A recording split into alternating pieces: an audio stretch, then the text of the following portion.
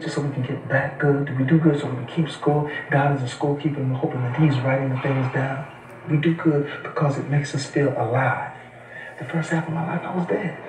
I was dead, but now the second half of my life, I get a chance to live and do something about it. And if I have to die in order to show the meaning, the true meaning of it, then so let it be.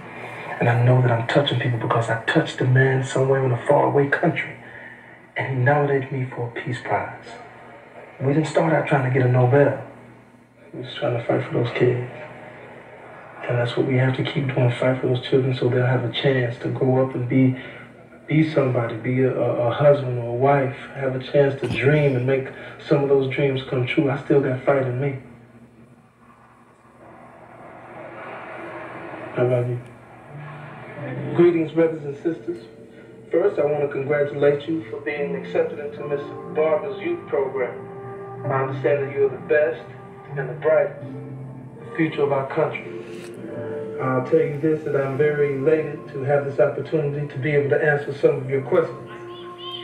The boy's time. This is not a gladiator school. You will not prove anything in here. This place does not make you a man. Look at me. I want you to understand this too and listen to me well. The moment you begin to make excuses for yourselves, that's the moment that you get on a pathway leading you straight to here. They want you here. They're ready for you here. But look at. I'm not going to let that happen. I'm not going to let it happen. I don't want to see any of you on your way to this place to spend any time here because this is not a place for you. And what we're going to do, we're going to form a plan amongst all of us. We'll make a vow and say that we will never end up in this situation like I am. Do you hear me? Yes, sir. Good. Yes, sir. Dear Heavenly Father, we're here knowing that you know all. You're the beginning and the end, Alpha and Omega. We sit in here in a situation where we're just asking for your guidance and for your presence and your knowledge to enlighten us. Please, Lord, allow us to take what we have started here, just a small seed, and let this blossom into a flower that everyone can be able to metaphorically come and smell that flower and will be inspired. And then one day we will no longer have to fight in this world be at odds with one another, especially our brother. Dear Lord, I ask that you please allow me to keep my eyes focused on what needs to happen. Take Miss Barbara back now and let her be a vessel. You have taken me and caged me as a bird, but you have allowed me to sing and crush these walls and make these walls to these walls to, to fall down and people will be able to see the dream that I have in my heart.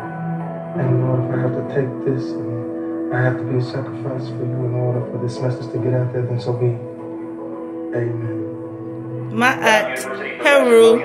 today nominated San Quentin death row inmate Stan Tookie Williams for the Nobel Prize for Literature. Get it, goo! Angeles, has written a series of award-winning children's books. Williams was nominated for the Nobel Peace Prize last year by Swiss parliamentarian. Thank you, Papa Smurf. But lost to uh, UN Chairman Kofi Annan. I made the nomination to honor a body of work that is courageous, truthful, and purposeful. Now back to the news.